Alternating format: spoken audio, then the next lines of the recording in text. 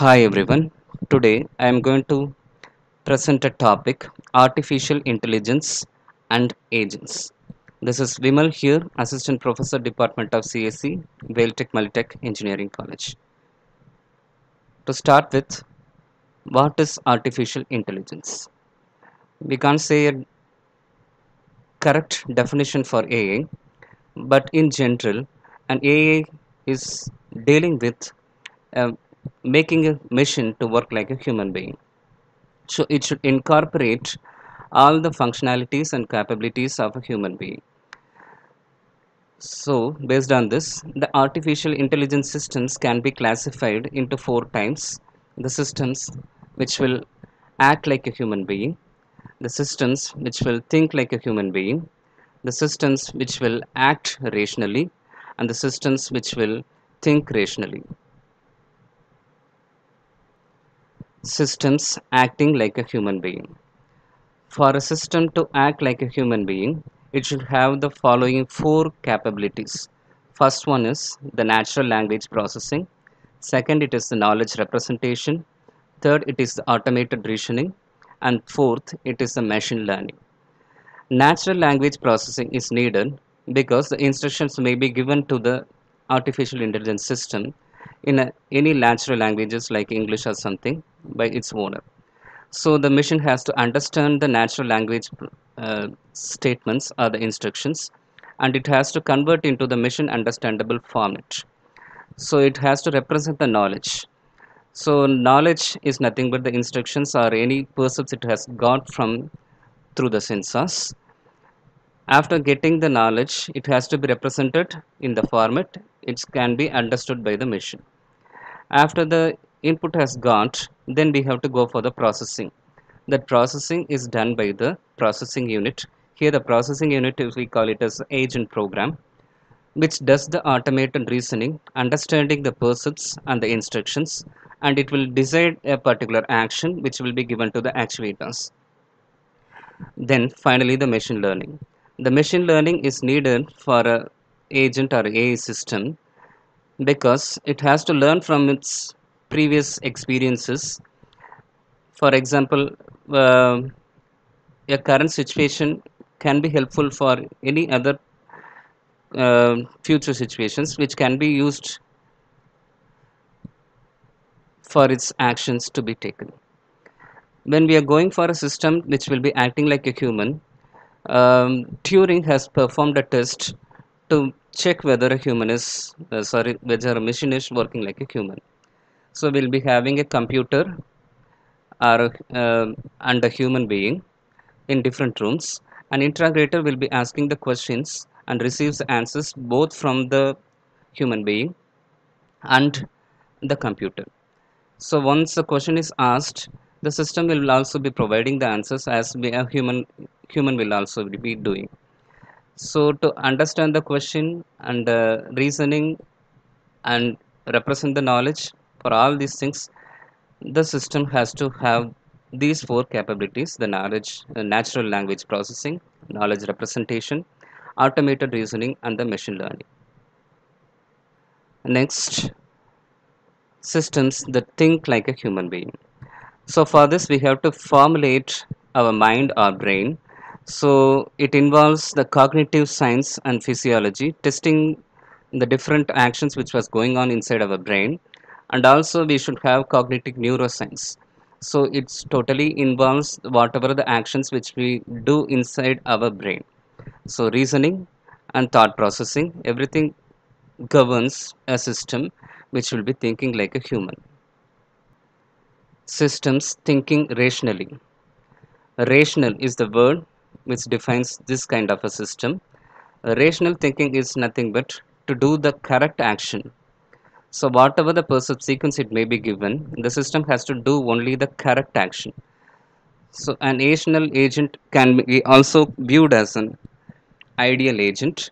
So the rational thinking and the rational process, everything will be done by the laws of thought. The laws of thought is nothing but a set of rules and regulations based on which an agent will be taking an action. So this laws of thought can also be called as a syllogisms. It involves different notations and logics. Systems acting rationally. A system acting rationally will also try to produce a best outcome. So whatever the percept sequence is given to it, it will be trying to maximize its output. So the output will be the best for the current percept sequence. So it will also be using the syllogisms or the laws of thought for performing its actions. Now we come to the topic of intelligent agent. An agent. Agent is one which perceives the environment and acts upon the environment based on the percepts it has taken and based on the agent program. The agent program decides what kind of an action has to be done. So the rational agent will carry out an action which gives the best outcome considering the percepts. So why we call a AI system as an agent? Because an agent is one who perceives or gets the instructions from the owner and it does only the actions which was given to it. It can't perform anything apart from what it was supposed to do. Foundations of AI. The following are the different foundations of AI philosophy, mathematics, economics, neuroscience, psychology, control theory, and linguistics. These things forms the foundations of a Without these things, it is not possible to implement a system. This is a pictorial representation of an agent. If you see here, this is an agent unit. We'll have a sensor. The sensor will be getting the percepts from the environment. Percepts can be seen as an input of a computer system. So, but here we kind in the name term as percepts. Why? Because the sensor has to take its own input, it has to perceive its input, and it has to store it. So we call it as a percepts. And based on the percepts, the agent program based on different action rules and set of rules etc it will decide what kind of an action has to be done the action will be done by these actuators so the actions will be changing the environment. Agent function. The agent function can be written as a equal to f of p. So it is a function of percept. Based on the current percept the agent function decides an action. This agent function maps the percepts to actions. So for any set of percepts the agent function finds out a set of action the structure of an agent. An agent can be comprised of two units the architecture plus the program. The architecture involves the units of the agent the sensors and the actuators. The sensors can be like a camera etc and the actuators can be like a robot uh, arms or etc so the actions which the actuators is going to perform will be governed by the program the agent program or the agent function which is a main part of our agent unit. When we are going to see about an agent we have to specify the task environment.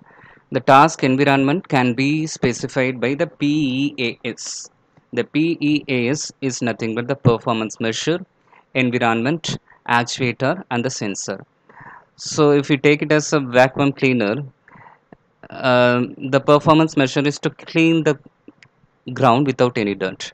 The environment will be the ground. The actuators will be the unit which will be sucking the dirt.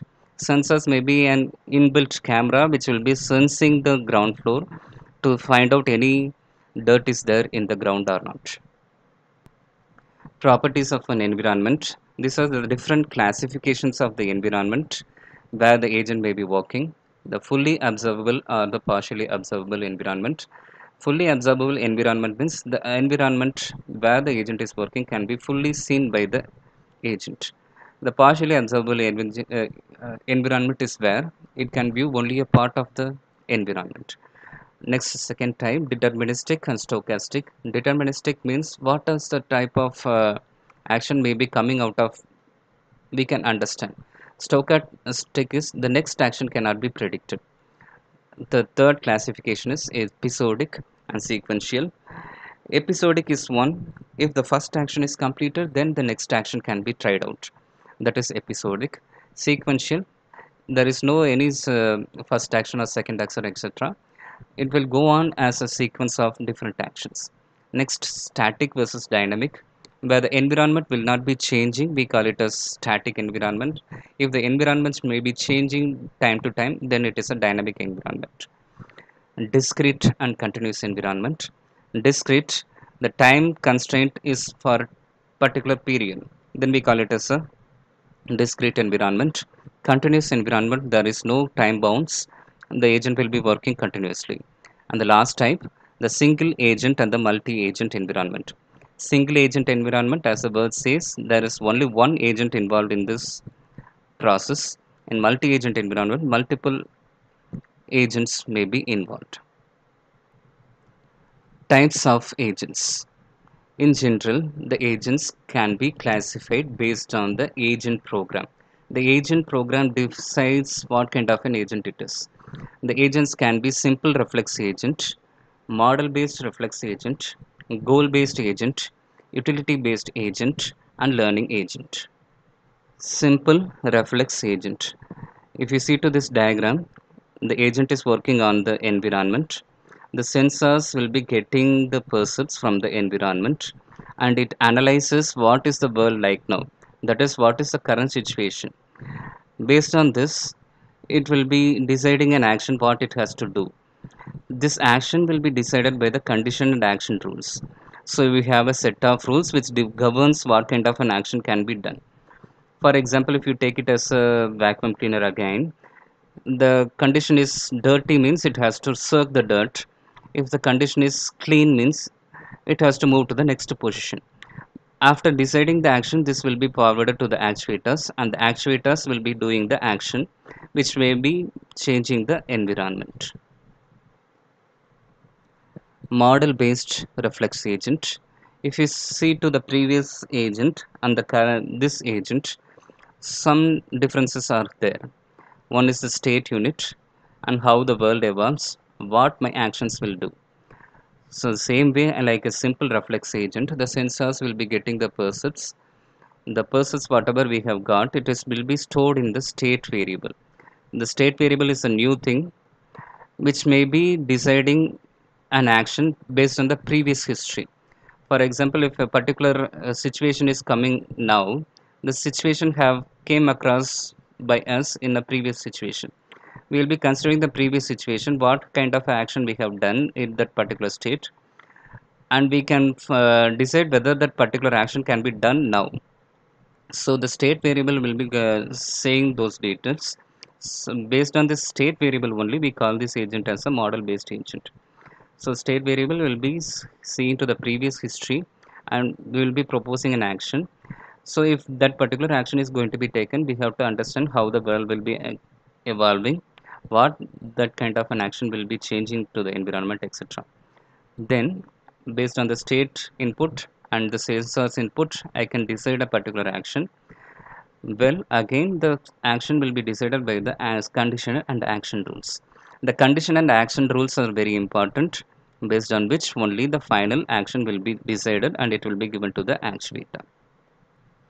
The next agent is goal based agent. The goal based agent is a modification for of the previous model based reflex agent. In the model based reflex agent, we have the new unit called as state, which will be stored in the previous history. So based on the previous history of actions, we can decide a particular action. So if we have a set of rules, a set of actions, I have to check out which action will be very much feasible for me. So if I am doing an action A, what will be the changes? If I doing if I am doing an action B, what will be the changes? If I am doing some other action, what will be the changes? We have to understand. And one more change in this goal-based agent is there in the previous two agents in the simple reflex agent and in the model based reflex agent we had the conditioned and action rules. But here we have the goals. Here the goals replace the conditioned action rules. So this agent is totally based on the goals. Goal is nothing but if you have a different action, uh, different set of action to be performed, I will be trying to achieve a particular goal.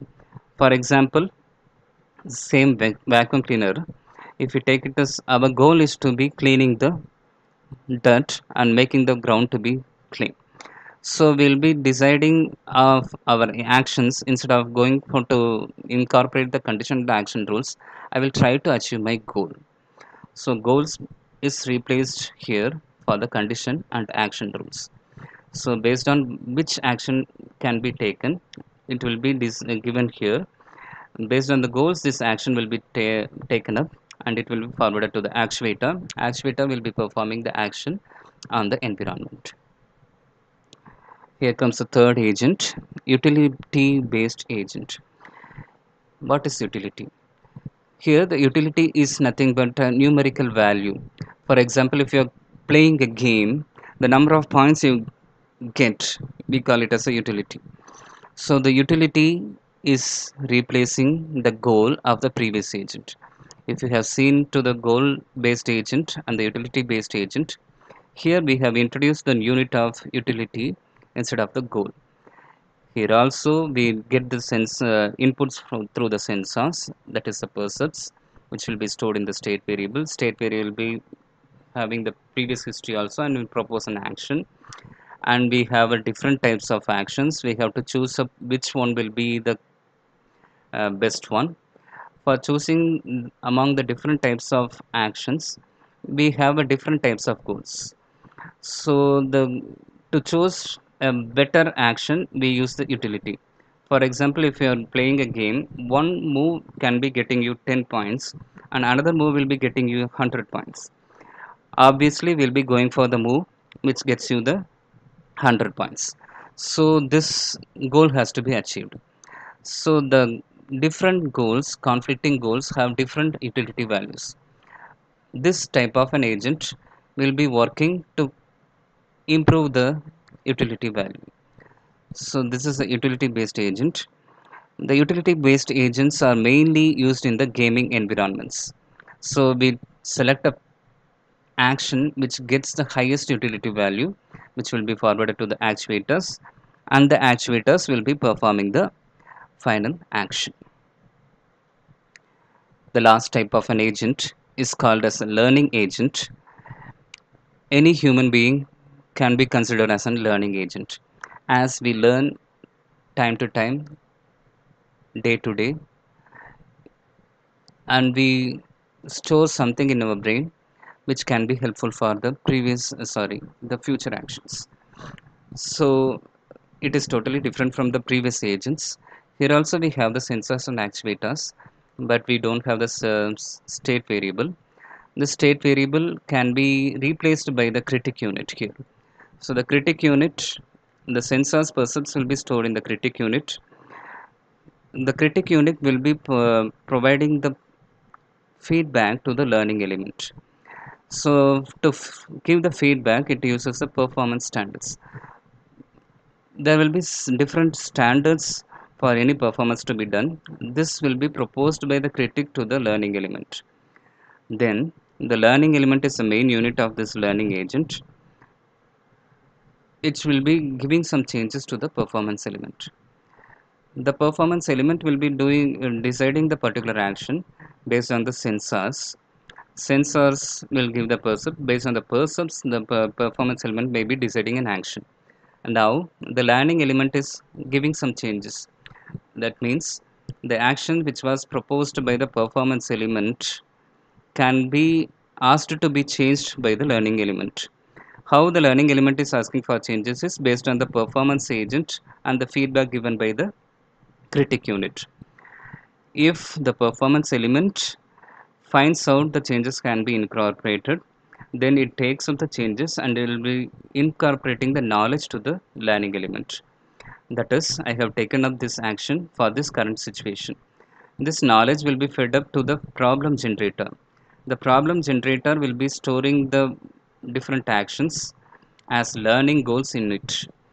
So the problem generator will also be having different actions stored in it from the previous situations. So it will also be proposing some action to the performance element. So the performance element has to take up one action among these three.